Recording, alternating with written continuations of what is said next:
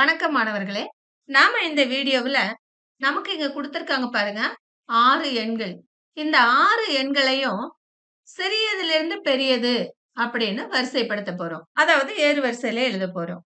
அதுக்கு நாம எண்கோட்டுல இந்த எண்களை குறிக்கலாம்.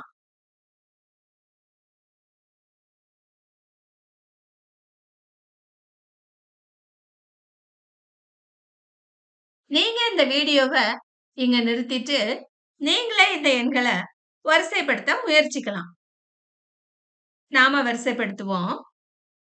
இந்த எண்களை முதல்ல எண்கோட்ல குறிக்க நாம முயற்சி பண்ணுவோம்.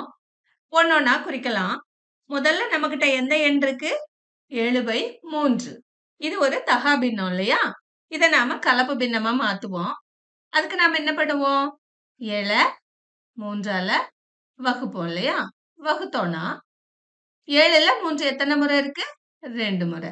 ரெண்டு மூணு ஆறு கழிக்கும் போது ஒன்று எப்படி எழுதுவோம் கலப்பு பின்னமா? இந்த முழு எண்ணை இங்க போட்டுக்குவோம் ரெண்டு மீதி இருக்கிற ஒன்றை மேல போட்டுக்குவோம். கீழ என்ன போடுவோம்?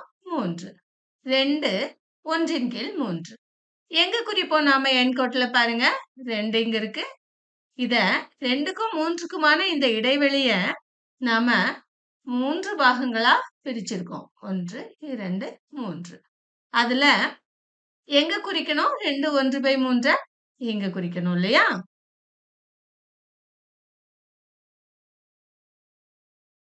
ஏழு பை மூன்று. அடுத்து என்ன எண் இருக்கு? குறை ஐந்தின் கீழ் இரண்டு குறை ஐந்தின் கீழ் இரண்டு குறை 5/2ங்கிறது ஒரு தகா பின்னம். நாம கலப்பு பின்னமா மாத்துவோம்.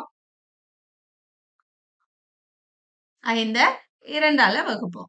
ஐந்துல இரண்டு எத்தனை முறை இருக்கு? இரண்டு முறை இல்லையா? ரெண்டு பெருக்கல் ரெண்டு நான்கு கழிச்சிங்கன்னா ஒன்று முதல்ல குறைக்குறிய போட்டுக்குங்க. அடுத்து முளையன் பகுதி ரெண்டை போட்டுக்குங்க. கீழே இருக்கிற மீதி ஒன்றை மேல போட்டுக்கலாம். கீழ் ரெண்டு குறை 2 1/2. பாருங்க. குறை 2 இங்க இருக்கு. 2 1ன் கீழ் 2 எங்க இருக்கும்? இங்க இருக்கும். அதாவது குறை 2க்கும் குறை 3க்கும் நடுவுல இந்த இடத்துல குறை 5/2 இருக்கும். அடுத்து என்ன இருக்கு? 0. 0 நாம எங்க குறிப்போம்? இங்க இருக்கு இல்லையா? இது ரொம்ப ஈஸி. நீங்க ஈஸியா குறிச்சிருவீங்க. இதுதான் பூஜ்ஜியம் அடுத்து என்ன இருக்கு? குறை 2. குறை இரண்டு எங்க இருக்கு பாருங்க என்கோட்ல எங்க இருக்கு இல்லையா? இதை நாம ரொம்ப எளிமையா குறிச்சிடுறோம். அடுத்து என்ன இருக்கு? குறை 12ன் கீழ் 4. 12 4ஆல வகுப்போமா? 12 4ஆல வகுத்தோம்னா மூன்று முறை. முன்னாங்கு 12 இல்லையா? கழிக்கும்போது பூஜ்ஜியம் அதாவது ஒரு முழு எண் நமக்கு கிடைக்கும்.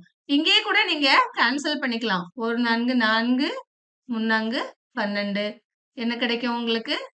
குறை மூன்று கிடைக்கும். குறை மூன்று நம்ம எண்கோட்டுல எங்க குறிப்போம்? இங்க இருக்கு இல்லையா? குறை மூன்று அடுத்து என்ன எண் இருக்கு? குறை மூன்று புள்ளி ரெண்டு ஐந்து இதை நாம எப்படி எழுதிக்கலாம் அப்படின்னா, குறை 3 25 நூறில் ஒன்றுகள்.